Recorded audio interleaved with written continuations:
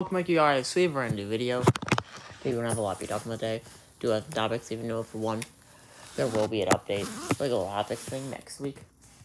So, definitely look forward to that. And yeah, I that's really all we have to be discussing about today. And I'll see you guys again tomorrow for a brand new video. Peace out.